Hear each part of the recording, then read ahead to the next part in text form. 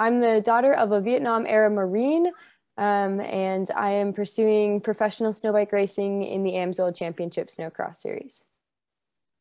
In the winter of 2019, my dad connected with Operation Vet Now at the Canterbury Snowcross race at the Veterans Village. Um, and he really persuaded them to take me in uh, and start a partnership between the two of us.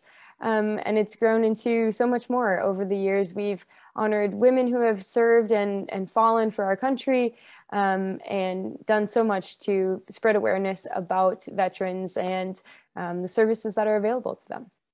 First off, I'd like to thank veterans for their service. Um, and I know it can be a very difficult time for a lot of people coming up to the holidays. And so, you know, if you're feeling down, if you're feeling alone, just know that you're not. Um, there's great people out there, especially the people at Operation Vet Now that are there to help you and to connect you to the people that can help you be the healthiest version of yourself. I'm Jackie Riess, OVN Ambassador Athlete, and I encourage everyone to be there for our veterans.